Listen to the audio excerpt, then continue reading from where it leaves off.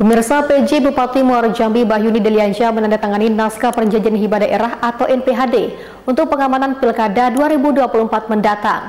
Bahyuni meyakini Pilkada bisa berjalan dengan sukses dengan kerjasama yang baik semua pihak. Pemerintah Kabupaten Muara Jambi dan Polres Muara Jambi melakukan penandatanganan atau MOU naskah perjanjian hibah daerah atau NPHD terkait pengamanan penyelenggaraan pemilihan serentak 2024 di Kabupaten Muara Jambi. PJ Bupati Muara Jambi Bahyuni Deliansyah mengatakan bahwa pemerintah daerah telah menyiapkan dana hibah dalam rangka mendukung penyelenggaraan pemilihan kepala daerah nantinya. Bahyuni berharap pihak kepolisian dapat menciptakan suasana rasa aman dan kondusif di wilayah Kabupaten Muara Jambi. Senada juga disampaikan Kapolres Muara Jambi AKBP Wahyu Istanto Bramwidarso bahwa penandatanganan NPHD ini dalam rangka operasi pengamanan pemilihan kepala daerah 2024 mendatang.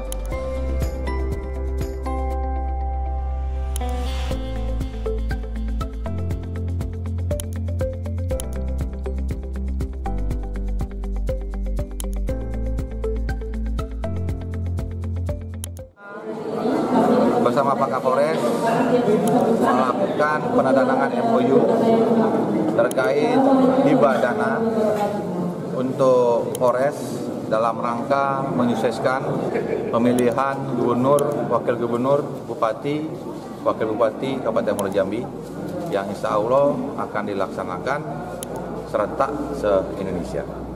Ya, jadi ini adalah MOU antara pemerintah dan itu adalah kewajiban pemerintah mendukung instansi yang membantu pemerintah dalam pengamanan pemilu 2024.